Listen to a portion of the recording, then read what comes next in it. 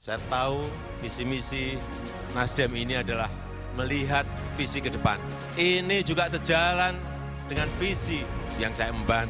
Jokowi adalah kita dan kita adalah Jokowi. Partai Nasdem dengan resmi mencalonkan kembali Presiden Jokowi sebagai calon presiden Partai Nasdem pada pemilu presiden tahun 2019. Jokowi presidenku, Nasdem partaiku.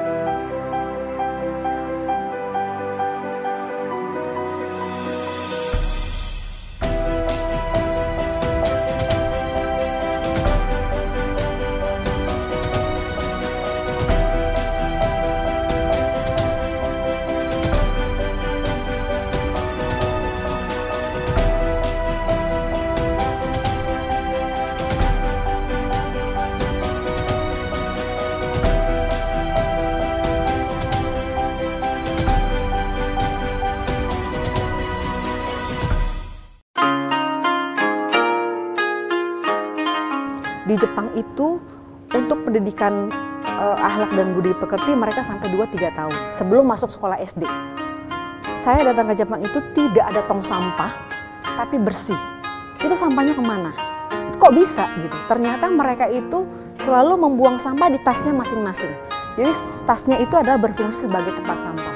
Dan kok bisa serempak? Ini dari mana pendidikan ini? Apakah pemerintah yang mensuarakan seperti itu? Pasti itu pendidikan dari dalam dari orang tua atau pendidikan dasar yang dia terima waktu dia masih kecil sehingga melekat sampai sampai dewasa. Uh, saya ingin pendidikan budi pekerti ini bukan hanya di satu sekolah. Saya bagaimana caranya bisa menyuarakan bahwa pendidikan budi pekerti bangsa Indonesia ini ada di usia muda anak-anak milenial. Tidak ada kata terlambat.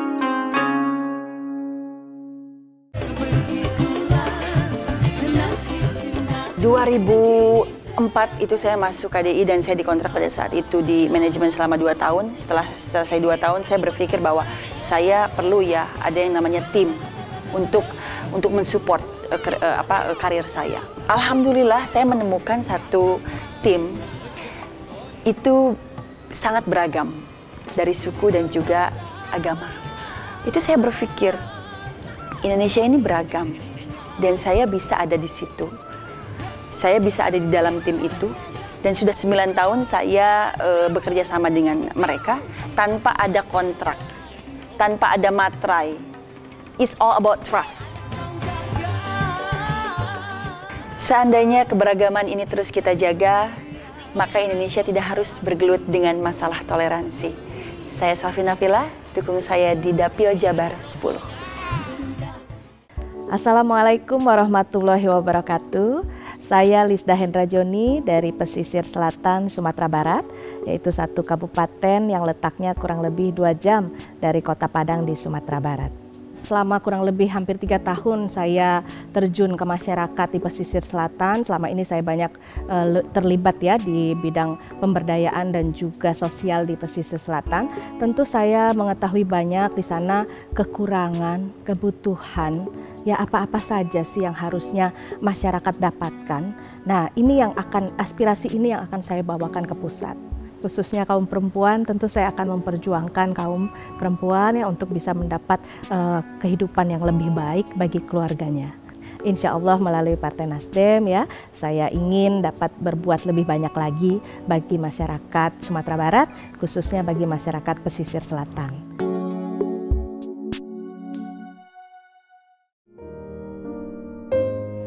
Saya bangga terlahir di Indonesia, sebuah negeri yang sangat kaya raya dan memiliki pemandangan luar biasa dan indah bagaikan surga. Banyak wisatawan asing yang memuji Indonesia di Pulau Jawa misalnya, di kabupaten atau kota Jepara.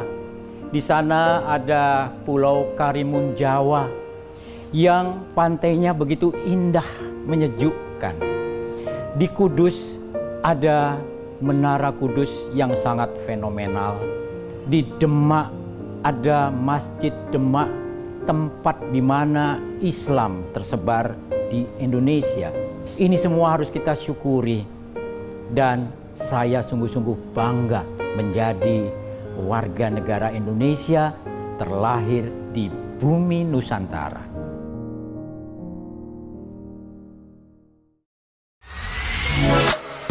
Salah satu elemen ekonomi kreatif dari 16 subsektor itu adalah musik.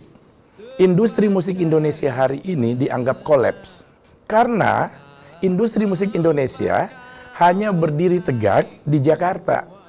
Tetapi di 34 provinsi lainnya sangat lemah.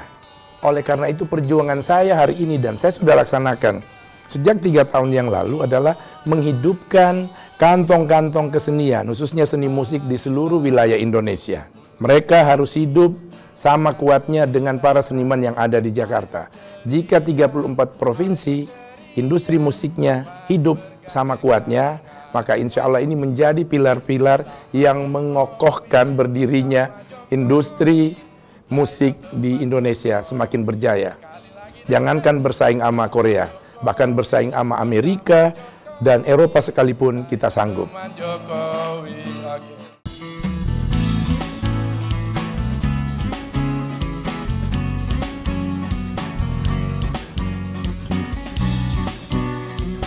Di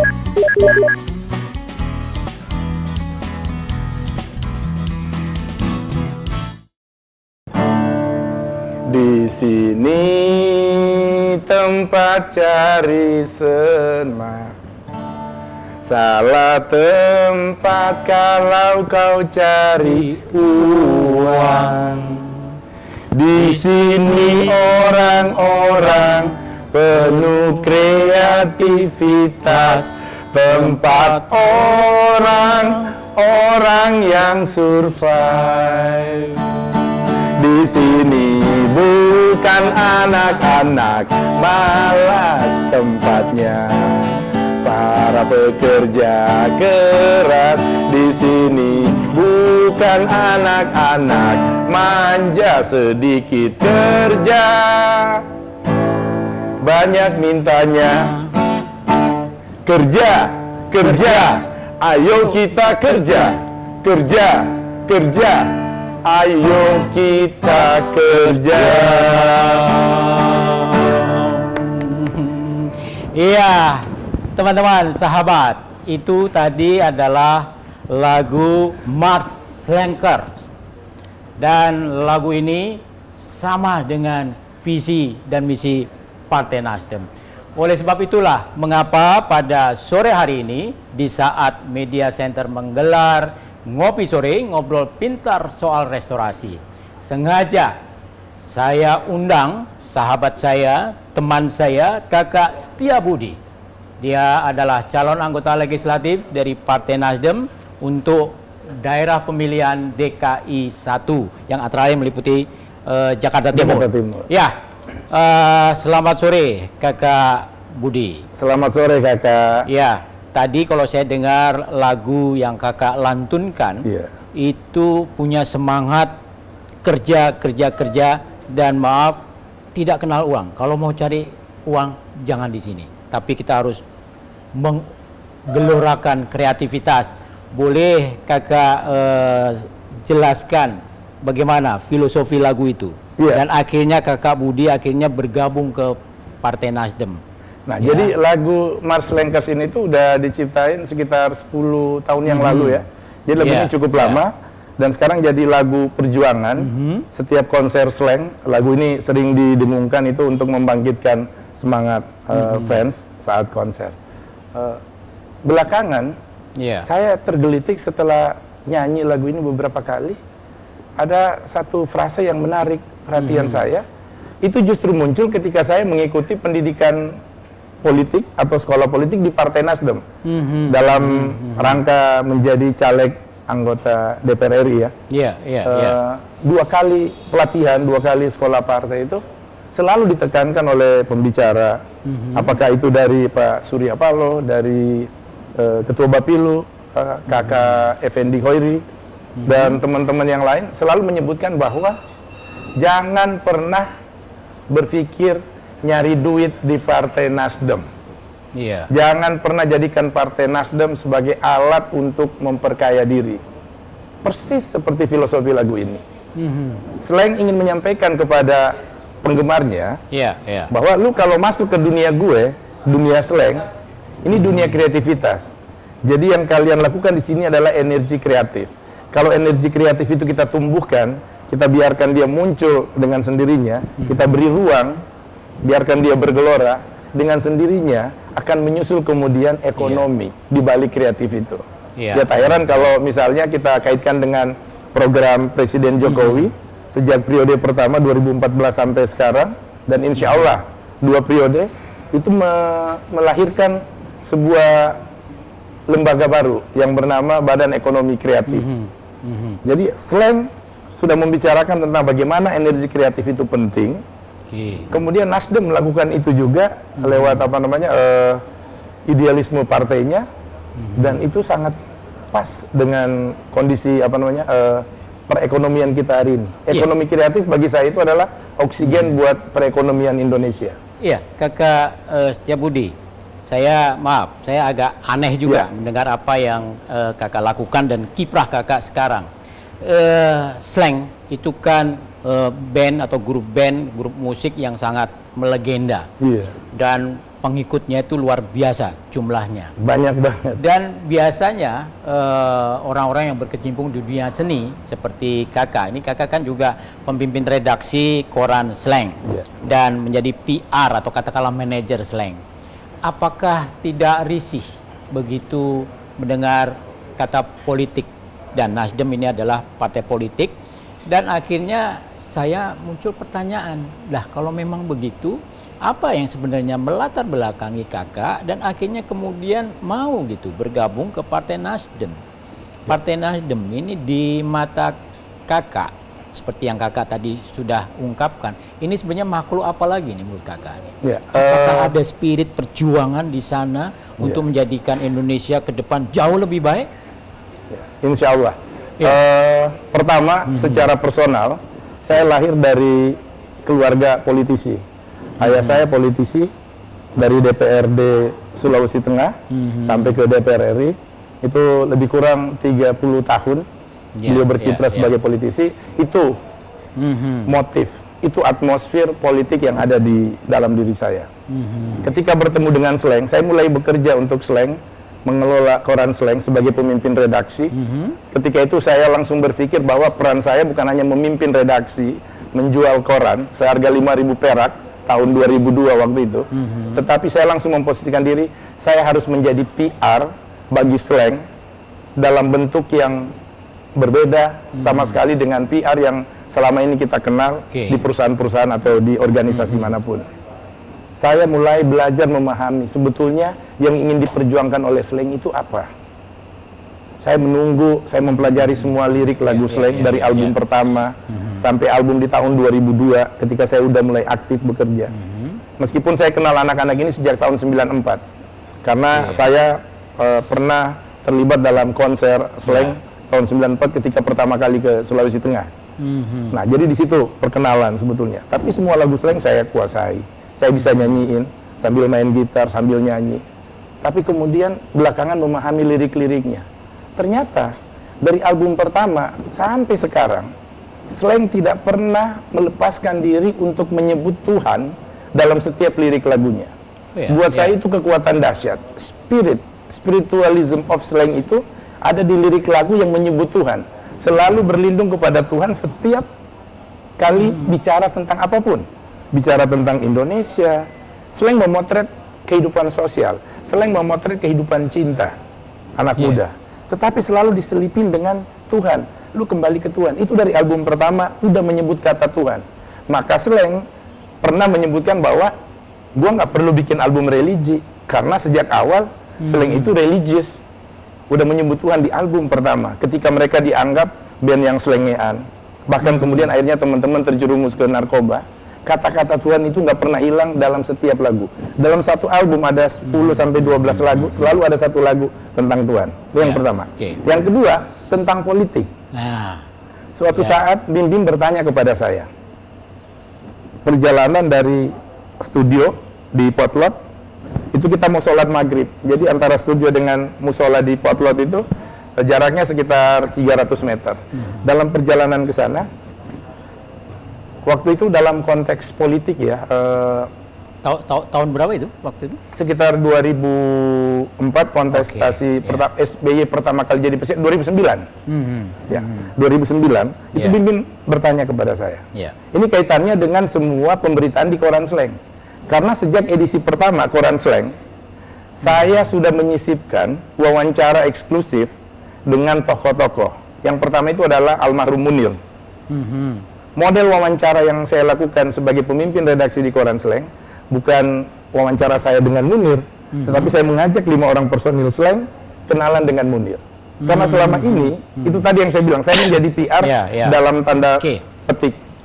Saya memperkenalkan slang dengan tokoh-tokoh pejuang sosial. Kalau boleh saya sebutkan, yang pertama itu Munir, lalu kemudian ada Nurholis Majid, tokoh-tokoh yang dikagumi oleh Bim Bim dan kawan-kawan dari jarak jauh.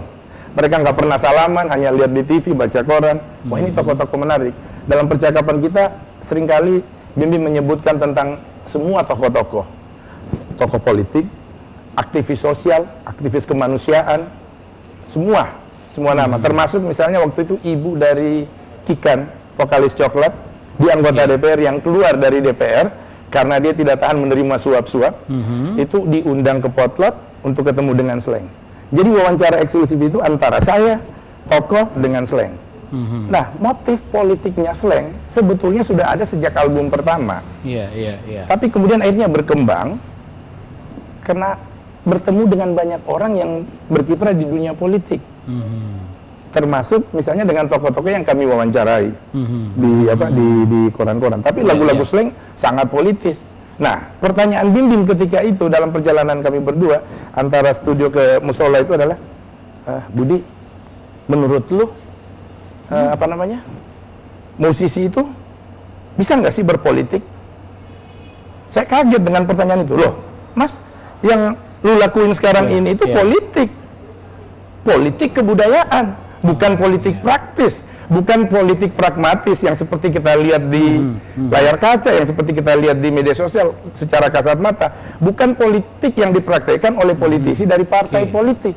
Tapi politik yang dimainkan adalah politik yang berbasis pada kebudayaan. Ini yang saya terus menengungkannya, politik kebudayaan sampai hari ini. Dan ini bagian dari perjuangan saya ketika menjadi caleg di DPR RI dari Partai Nasdem, yaitu politik kebudayaan. Ini yang belum hidup tumbuh di negeri ini. Contoh terbaik politik kebudayaan yang sukses dilakukan oleh politisi di negeri ini itu dua tokoh yang juga diidolain oleh Sleng, yaitu Presiden Jokowi dan mantan Gubernur Ahok. Ini adalah dua tokoh yang tidak punya basis di partai politik. Mereka bukan orang partai, tapi mereka adalah ujung tombak dari semua kiprah politik anak bangsa hari ini. Bagaimana politik kebangsaan Indonesia hari ini ada di tangan Presiden Jokowi dan politik ibu kota itu ada di tangan Ahok. Yang tadinya kita nggak nyangka dua tokoh ini bisa menjadi lokomotif masa depan politik Indonesia. Dan menurut saya itu adalah contoh politik kebudayaan yang terbaik. Dan ketika itu saya bilang sama Bim Bim, Bim, sejak manusia dilahirkan, ketika dia tahu hak dan kewajibannya, ketika seorang anak minta, mah aku haus, aku minum susu, mah aku lapar, aku mau makan, itu adalah pernyataan politis dari seorang manusia. Dan menurut saya, politik itu adalah hak asasi karena diberikan dari langit, bukan diberikan oleh partai politik, bukan diberikan oleh rakyat, tapi itu hak prerogatif dari Tuhan bahwa manusia harus berpolitik. Itulah yang saya sampaikan ke Bim Iya, Bim, iya, iya, musisi iya. harus berpolitik, tapi dalam konteks kebudayaan atau disebut dengan politik kebudayaan. Mhm. Dan teman-teman musisi menyebutnya sebagai politik rock and roll. Dunia mengenal politik rock and roll, misalnya ada band U2, Mhm. Bono, itu adalah salah satu tokoh politik rock and roll dunia. Dan di Indonesia Iya, ada slang, dan kalau saya boleh sebut misalnya ada band Cupu Manik, ada band apa eh, efek rumah kaca, banyak band-band yang memiliki apa eh, kiprah politik kebudayaan dalam karya-karya mereka. Iya, wow. politik kebudayaan. Yes. Dan itu juga yang melatar belakangi Slang pernah eh, membuat program atau aktivitas mencari 100 orang di Indonesia yang terbersih. Benar. Itu Cari juga orang yang baik. Orang yang baik. Orang baik. Sudah ketemu belum selain dua tokoh itu? Nah, kalau saya ber, kembali ke koran slang ya, koran slang Ya. itu kan jagor, jargonnya Ya. polos dan apa adanya. Tadinya saya mau pakai Hmm. jujur dan apa adanya seperti lirik dalam lagunya slang. Jujur dan apa adanya. Ya, ya. Itu lagu virus. Bimin bilang, Budi, kita belum bisa jujur. Mhm. Lu ganti aja polos dan apa adanya. Mhm. Jadi orang baik dalam perspektif itu menurut saya yang ada di benak teman-teman selain Bim Bim, Abdi, Kakak, Rido dan Ivan itu adalah orang-orang yang jujur dalam kesehariannya. Dan memang sedikit sekali. Kita baru melihat memang dua nama. Karena mereka jadi lokomotif politik kebangsaan kita hari ini. Presiden Jokowi dan Ahok. Tapi nama-nama lain sebetulnya kalau kita lihat koran slang yang terbit selama eh, 11 tahun dari 2009, 2002 Iya. sampai 2011 itu eh, apa tokoh-tokoh yang ada di dalam Quran Slang itu adalah menurut saya tokoh-tokoh yang menurut Slang adalah tokoh-tokoh yang baik, yang jujur.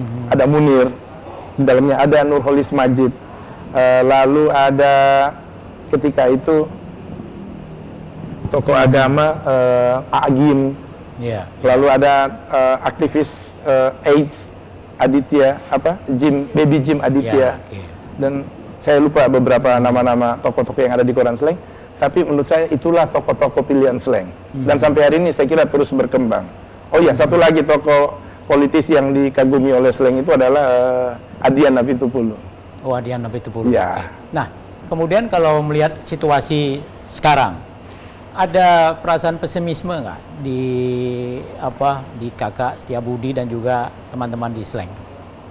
Kalau melihat apa eh, situasi sekarang ini, Eh, terutama berkaitan dengan tokoh-tokoh yang tadi sudah kakak sebut, Iya. ada krisis SDM, krisis pe- kepemimpinan tidak, krisis pemimpin tidak? Ya, eh, keprihatinan kita hari ini tuh sebetulnya dan saya kira itu dipotret juga oleh Slang di lagu-lagu terbaru mereka itu adalah tentang eh, dominasi generasi milenials dalam opini kebangsaan kita. Oke. Kalau kita lihat semua hal yang berkembang di dunia internet hari ini, dunia netizen, itu dikuasai oleh 70% anak muda. Dan jumlah mereka hari ini secara produktif itu 58% dari total penduduk. Dan masalah mereka adalah masalah bangsa Indonesia. Ya. Kemarin saya mengikuti diskusi yang diselenggarakan oleh fraksi Nasdem di MPR RI, itu juga menyebut bahwa ancaman paling besar terhadap bangsa kita hari ini adalah merajalelanya hoax di kalangan anak muda, di kalangan generasi milenial.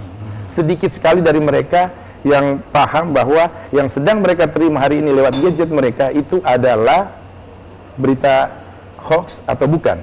Sedikit yang bisa melakukan filter itu. Oke. Oleh karena itu eh, kita semua sepakat dan saya lihat di karya lagu slang terakhir itu juga menyebut bagaimana orang hanya baca judul tapi tiba-tiba lu melakukan gerakan yang membabi tidak buta, tiba-tiba menghakimi orang hanya karena sebuah judul berita dan sebagainya yang belum tentu benar keberadaannya. Baik, kayaknya kita harus minum kopi dulu. Nih. Wah, ini keren nih. Ya, ya.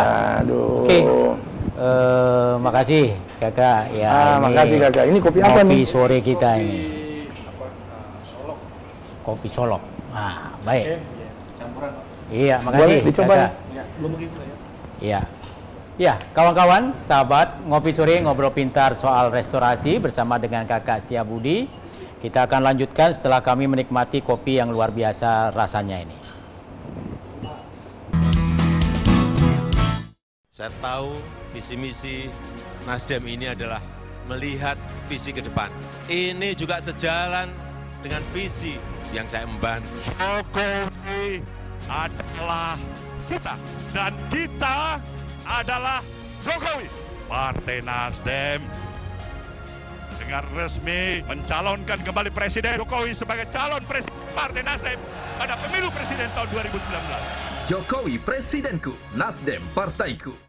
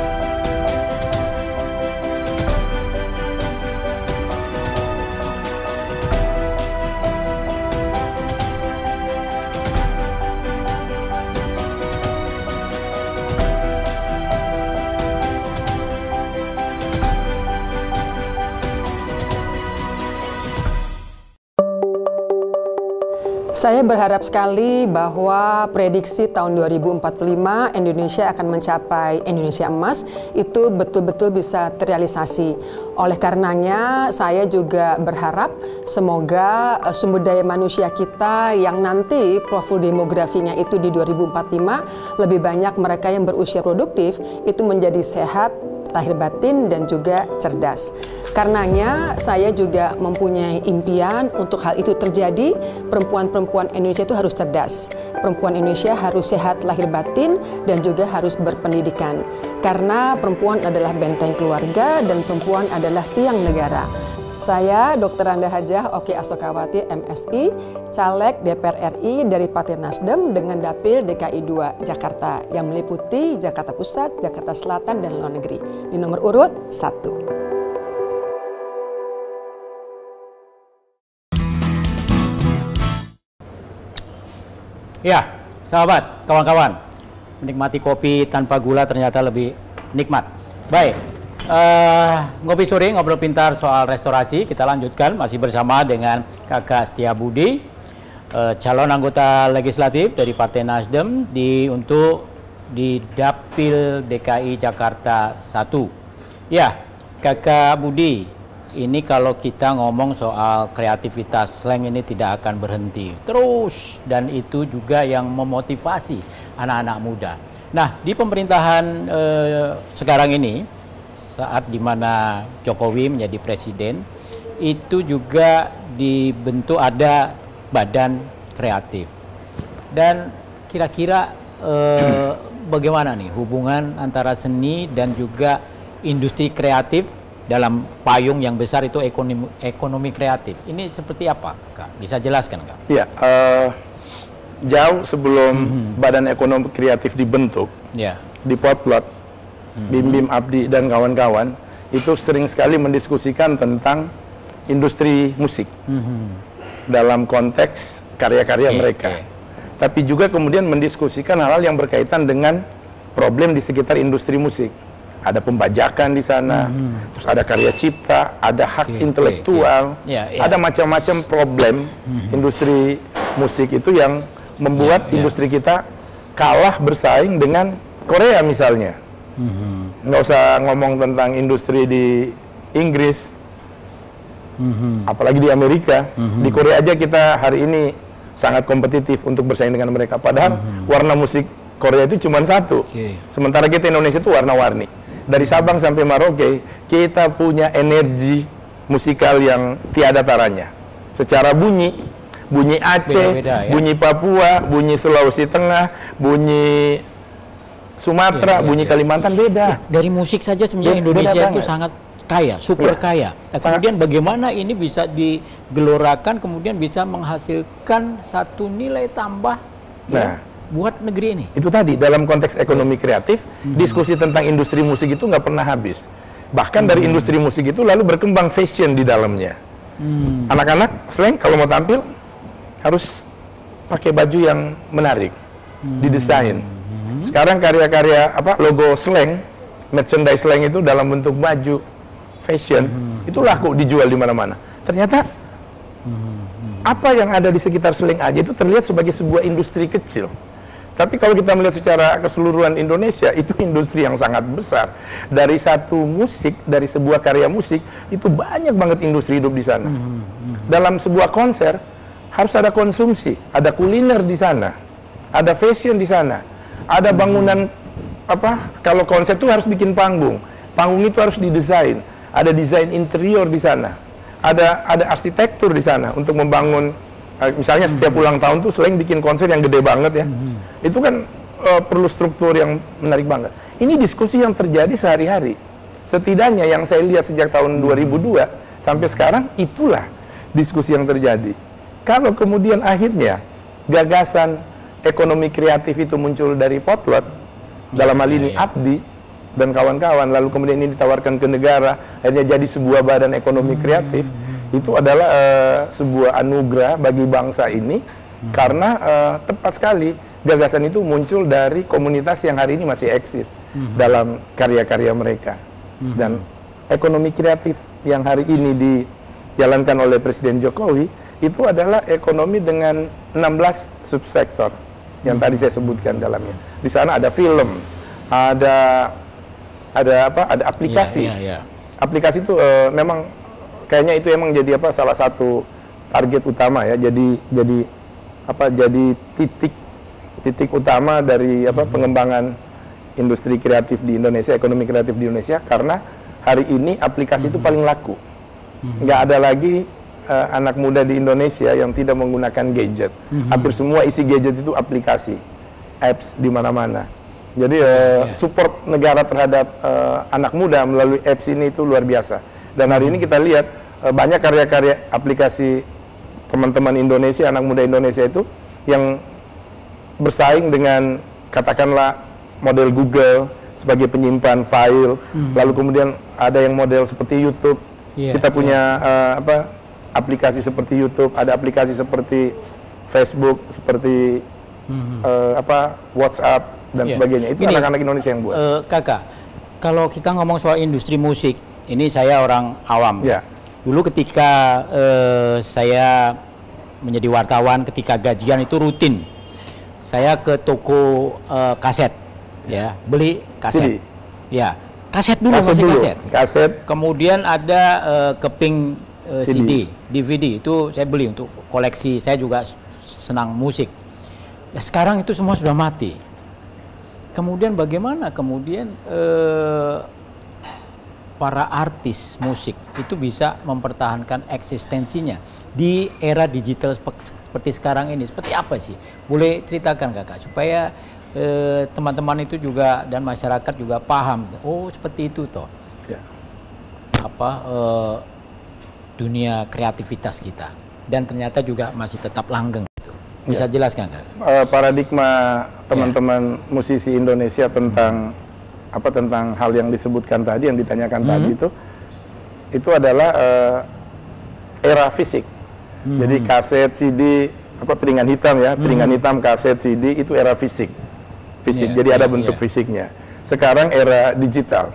Ini udah keniscayaan yang nggak bisa ditolak. Betul. Tetapi sampai hari ini fisik yang disebutkan tadi masih diproduksi, bahkan menjadi produksi yang langka, menjadi collectible, ingin dikoleksi oleh orang-orang, meskipun diproduksi dalam jumlah sedikit, tapi dijual dengan harga mahal. Misalnya ada band yang memproduksi piringan hitam, harga satu piringan hitamnya 500 ribu, mereka terbitkan 1000 itu juga udah menguntungkan secara finansial.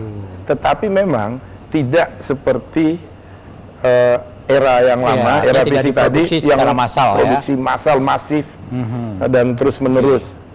Tetapi perlu dicatat itu hanya soal era, soal era selera.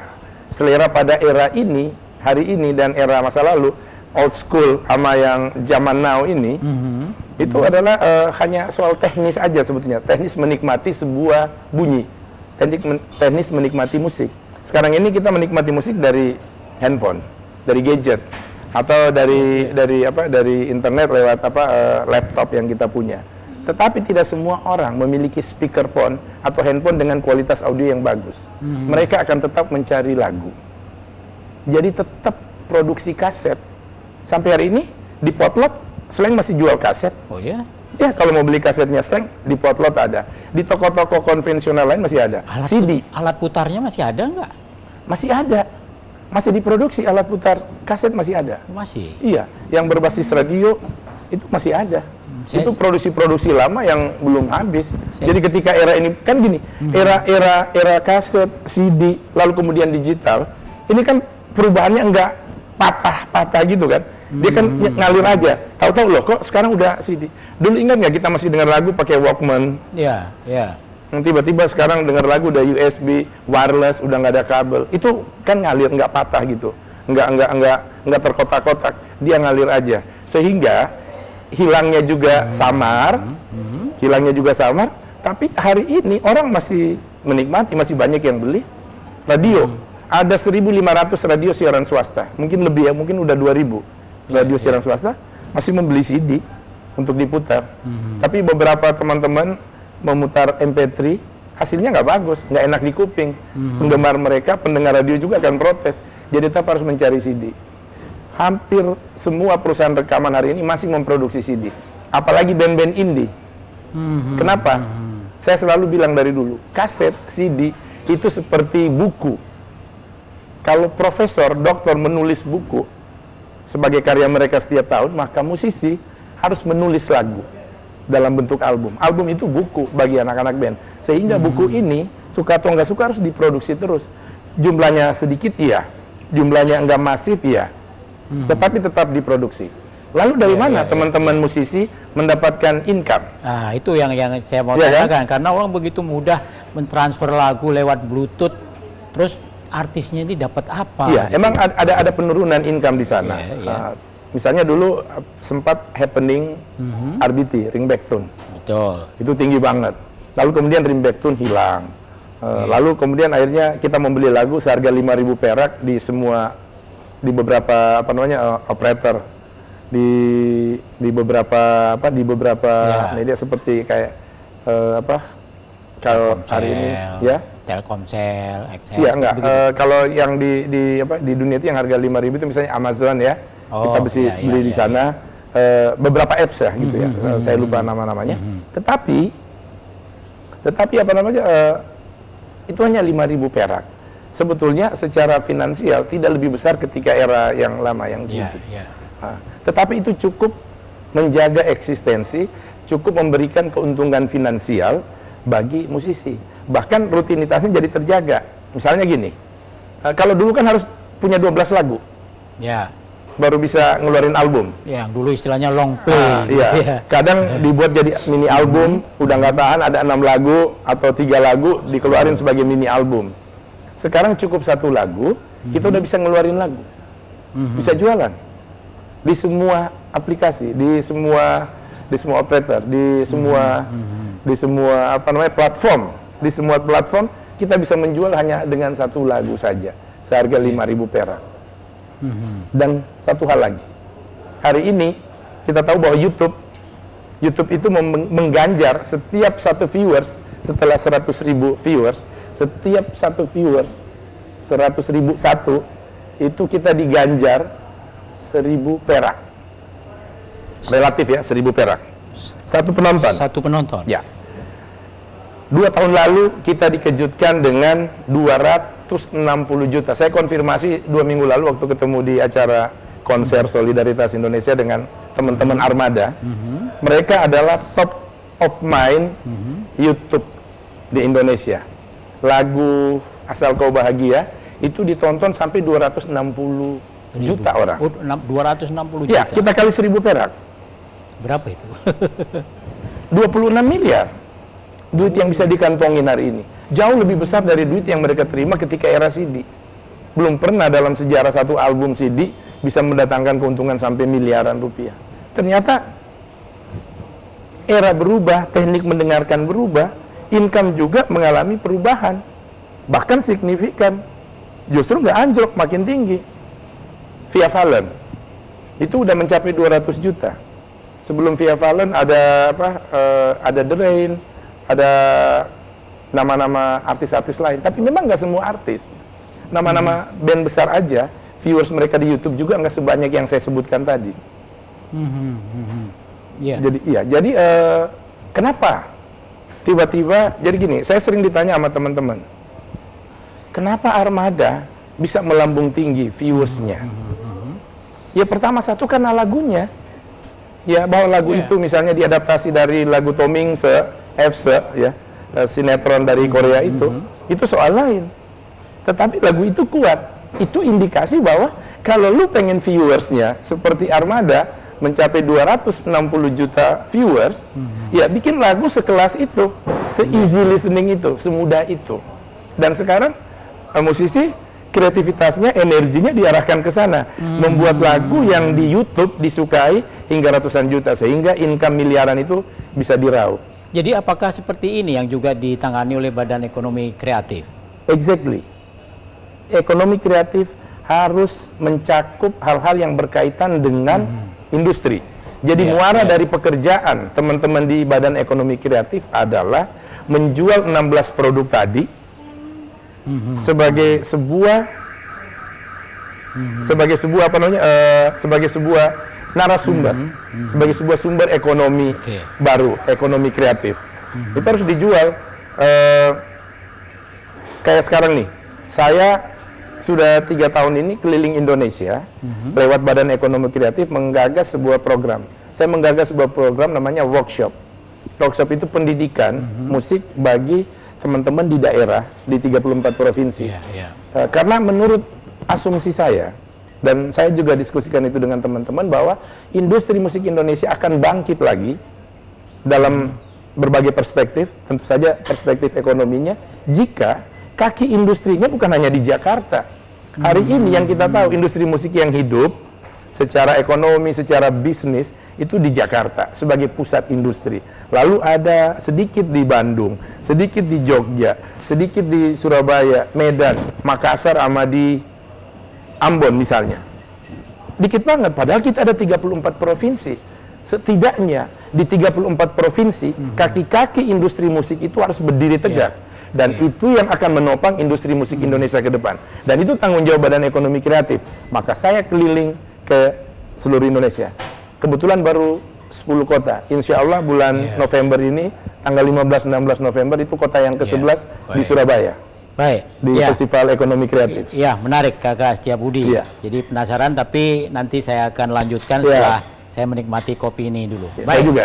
Kawan-kawan, sahabat, ngopi sore ngobrol pintar soal restorasi bersama dengan Kakak Setiabudi. Kita akan lanjutkan setelah saya lagi-lagi harus nyeruput kopi ini dulu. Saya tahu visi misi Nasdem ini adalah melihat visi ke depan. Ini juga sejalan dengan visi yang saya emban. Jokowi adalah kita dan kita adalah Jokowi. Partai Nasdem dengan resmi mencalonkan kembali Presiden Jokowi sebagai calon presiden Partai Nasdem pada pemilu presiden tahun 2019. Jokowi Presidenku, Nasdem Partaiku.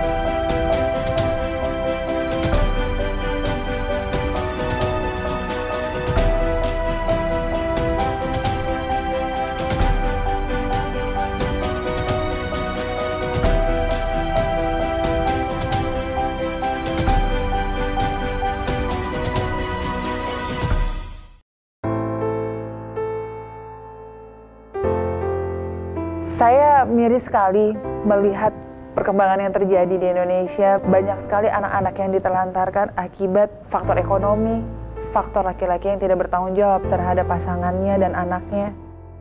Aku suka melakukan kunjungan ke panti sosial, tempat anak-anak yang dibuang sama orang tuanya dari mereka lahir.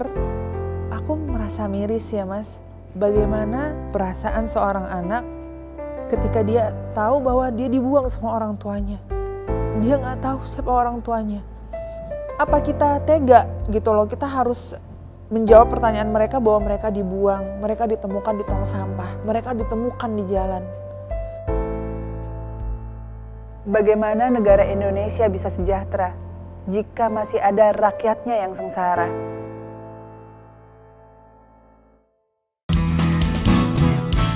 Iya, ngopi sore ngobrol pintar soal restorasi kita lanjutkan bersama dengan Kakak Setia Budi. Ya, berbicara tentang ekonomi kreatif kita tidak akan pernah selesai. Tetapi saya langsung saja karena ini sudah segmen terakhir tentang sosok Kakak Setia Budi di Dapil 1 DKI Jakarta. Apa sih yang Kakak ketahui ini tentang Jakarta ini? Ya. Kemudian Kakak kok berani-beraninya gitu loh mencalonkan diri sebagai anggota legislatif di dari Jakarta Partai. Nasdem dan di Jakarta yang kata banyak orang ini dapil neraka. nih. Iya. Bagaimana kakak? Ya, saya pernah diberitahu ini dapil neraka dari kakak bendum Nasdem, DPP Nasdem, eh, kakak Ahmad Ali. Ya. Dia bilang, Budi, itu Jakarta Timur dapil neraka. Why you choose that? Mhm. Saya bilang, saya kenapa lu nggak pulang kampung halaman aja di Sulawesi Tengah? Mhm. Lu bangun Sulawesi Tengah, lu lebih mengerti Sulawesi Tengah. Saya bilang, wah keliru. Mhm. Saya hari ini lebih tahu Jakarta daripada Sulawesi Tengah. Ya, ya, ya. Seenggak-enggaknya saya mulai memahami Jakarta dari sejak tahun 81. Jadi sejak tahun 81 saya udah di sudah, sudah mulai mengenal Hmm. Jakarta. Makin ke sini makin memahami. Dan akhirnya menurut saya eh, lebih dari 20 tahun hidup saya di Jakarta Hmm. itu eh, jadi membuat saya jadi lebih dekat dengan Jakarta secara emosional. Istri saya Betawi Mhm. Mhm. ayahnya, ibunya Jawa Barat. Jadi eh, kedekatan emosional terhadap masyarakat Betawi sangat kuat. Lalu kenapa Oke, Jakarta Timur? Nah, ada dua pertimbangan penting. Pertama, ketika saya menetapkan diri untuk oke, saya pilih Nasdem, Mhm. saya jadi caleg. 2014 saya udah ditawarin, Ya. tapi eh, saya belum percaya Belum siap. Ya. Kepercayaan diri saya itu karena saya belum dapat support dari slang. Alhamdulillah tahun 2014 ada dua anak slang yang saya cerita tentang rencana saya. Yaitu Bim Bim dan Abdi. Dan menceritakan gue pengen nyalek nih dari Partai Nasdem, tapi gue akan maju kalau gue didukung sama slang. Mereka dua nanya, kenapa slang? Karena lu punya slankers. Gue kenal slankers, gue ingin ini jadi basis gue karena gue nggak punya basis, gue bukan gue bukan anggota partai politik, gue baru aja masuk ke Nasdem setelah jadi caleg, lalu kemudian jadi anggota. Kalau lu support itu gue maju. Bimbing dan Abdi salamin saya, bilang Bismillah jalan. Itu membuat rasa percaya diri saya makin kuat. Lalu kenapa Jakarta Timur?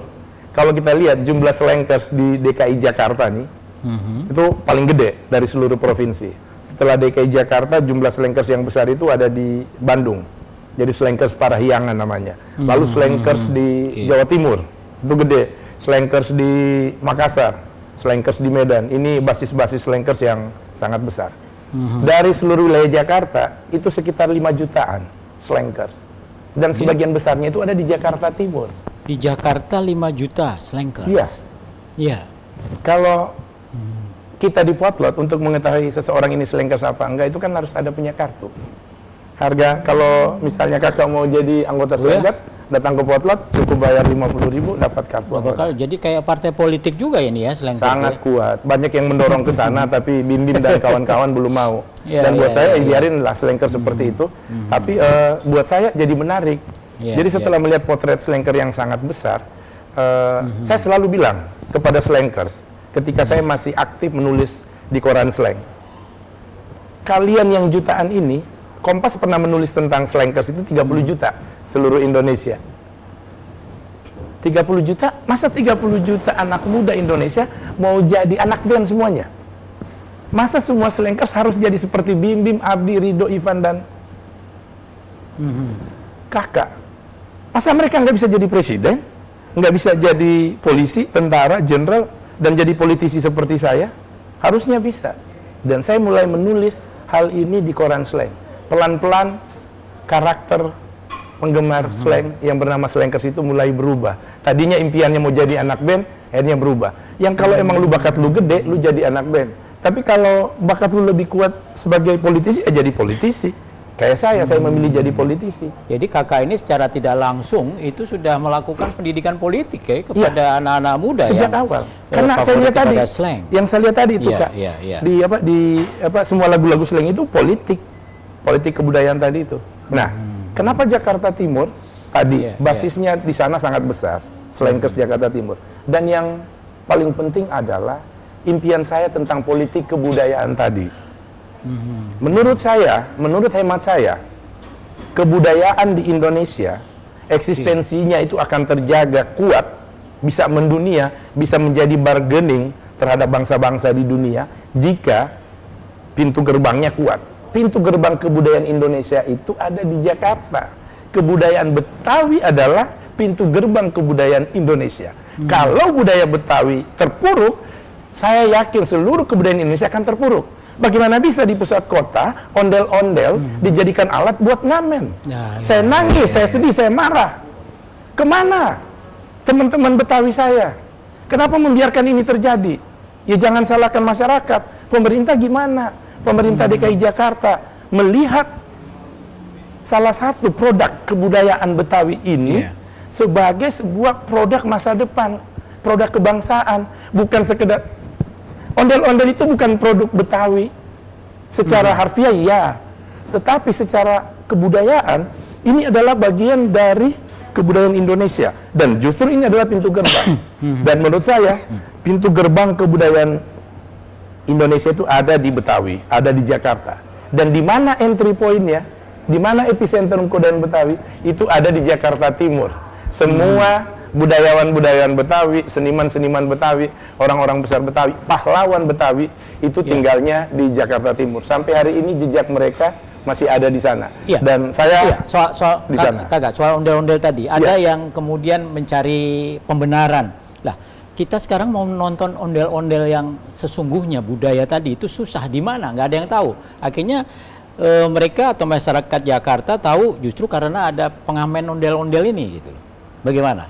Nah, Kalau ini, ada ini, ini harus ditarik oleh negara. Kita itu. punya kita punya Institut Kesenian Jakarta. Ada ruang-ruang pameran di sana, ada ruang-ruang eksibisi, ada ruang pertunjukan. Kita punya gedung kesenian Jakarta. Kita punya ruang-ruang kebudayaan. Kita punya bulungan. Kita punya apa eh, tempat Karang Taruna. Mhm. Setiap hari berkegiatan. Ada dana yang digulirkan oleh negara.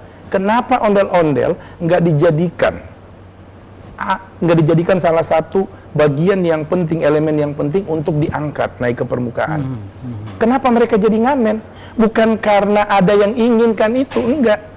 Mereka yang ngamen ini tidak semua orang Betawi, ada yang pendatang dari sana. Dan menurut wawancara saya dengan mereka selama sosialisasi, ini mereka lakukan karena kebutuhan ekonomi Iya, dan iya. ini paling mudah.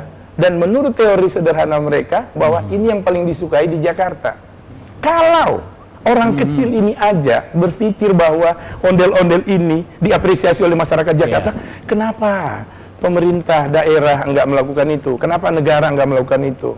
Jadi ya saya ada di Nasdem ini ya kepada Pak Surya Paloh, kepada Presiden Jokowi yang disupport oleh Nasdem untuk menjadi presiden berikutnya, saya akan berjuang, saya akan nagih kepada mereka. Ya urus ini kebudayaan, nggak boleh lagi ada ondel-ondel dijadikan alat buat ngamen. Terlalu merendahkan kebudayaan Betawi itu sendiri. Karena mereka nggak ada ruang. Kak. Kalau kita kasih ruang, ngamen itu selesai. Sama seperti kritik kita terhadap pengamen-pengamen Oke. jalanan yang saat ini ada, dikasih ruang. Sekarang ada Institut Kesenian Jakarta. Eh sorry, ada eh, apa pengamen jalanan Iya. yang bermarkas di Depok. Itu sekarang mereka menaikkan derajat pengamen itu hanya bermain di tempat-tempat yang disiapkan oleh pemerintah. Mhm. Oke, kalau begitu pertanyaan saya, kelak, kelak kalau eh, kakak Setia Budi terpilih menjadi anggota dewan, apa yang kemudian akan kakak lakukan atau janjikan? Akan lakukanlah, jangan berjanji. Saya nggak mau berjanji kakak. Apa yang akan kakak lakukan? Ya, eh, insya Allah eh, ini bukan janji saya kepada rakyat, tapi justru ini eh, doa saya kepada Tuhan, Allah Subhanahu Wa Taala. Eh, kalau saya jadi anggota DPR, yang pertama saya ingin lakukan adalah eh, saya ingin apa mengembangkan politik kebudayaan tentang keadaban. Itu impian saya. Saya ingin tunjukkan eh, kepada politisi di Senayan hari ini eh, politik yang harus dimainkan itu ya harusnya ya, ya yang beradab. Eh, ya sorry to say, Iya, saya bilang iya. banyak yang nggak beradab. Iya, kita bisa lihat di TV setiap minggu di beberapa program TV bagaimana mereka berdebat seperti anak kecil yang rebutan mainan dan sebagainya, rebut-rebutan bicara tanpa isi sama sekali. Kenapa?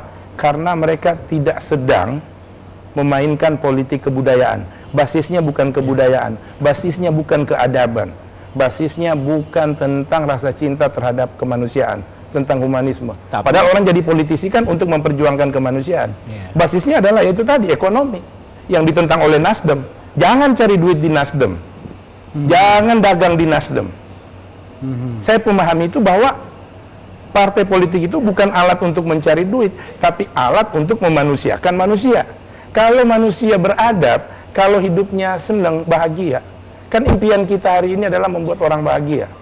Kalau ada yang saya bisa janjikan kepada rakyat Jakarta, insya Allah saya akan bekerja supaya rakyat di DKI Jakarta bahagia. Kalau Jakarta bahagia, Indonesia akan bahagia. Kita mulai dari Jakarta. Bagaimana bisa di ibu kota negara yang penduduknya belasan juta masih ada pengangguran?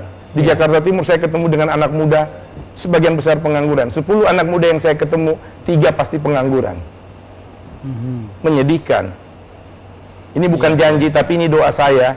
Saya ingin menyelesaikan soal, uh, memperbaiki soal menghidupkan ekonomi kreatif, mulai dari Jakarta sebagai pintu gerbang, lalu kebudayaan Betawi akan uh, dihidupkan dalam pengertian yang lebih serius, lebih progresif. Yang ketiga soal pendidikan, karena ini berkaitan dengan pekerjaan kemudian para penganggur. Kemudian soal kesehatan, banyak hal.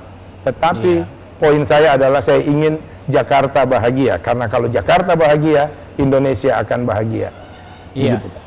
Oke, eh, kakak Budi, ini rasanya warga DKI Jakarta khususnya yang punya hak pilih di Jakarta Timur Iya. nggak salah nih kalau nanti dalam pemilu legislatif di 2019 bulan April itu memilih kakak Setia Budi ya Insya Allah. supaya Amin. negeri ini ke depan khususnya Jakarta jauh lebih baik karena tadi kakak menyinggung soal gelanggang remaja bulungan saya juga bertanya-tanya sebenarnya masih ada nggak jangan-jangan sudah nggak ada Masih ada. oh masih ada Masih ada. tapi tidak difungsikan secara maksimal ya difungsikan untuk kegiatan-kegiatan eh, musikal, tapi eh, bu- bu- tidak dalam kerangka untuk memperbaiki sebuah bagian penting dalam kehidupan bangsa, berbangsa dan bernegara itu memperbaiki eh, kebudayaan masa depan Indonesia. Baik.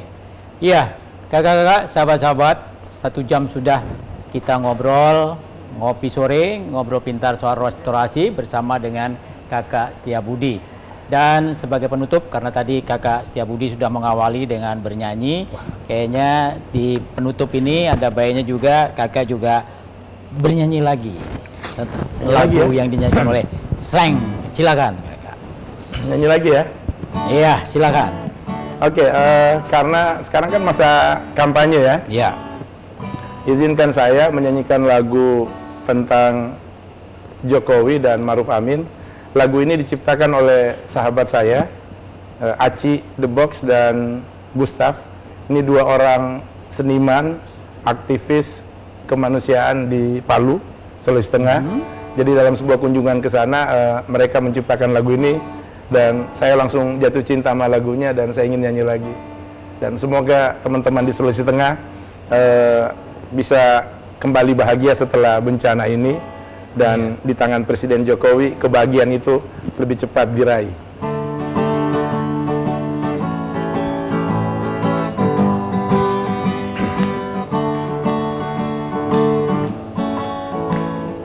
Hai teman, marilah sambutlah kami dengan gembira. Ayo ceria, ayo ceria, mari bergandeng tangan.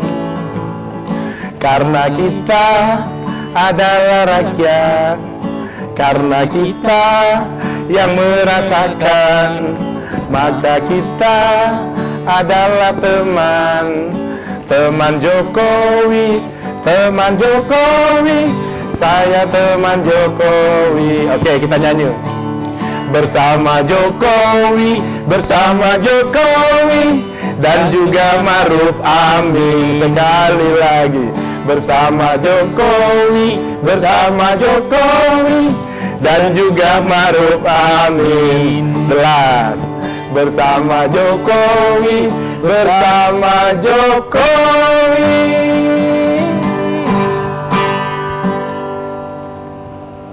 Dan juga Maruf Amin.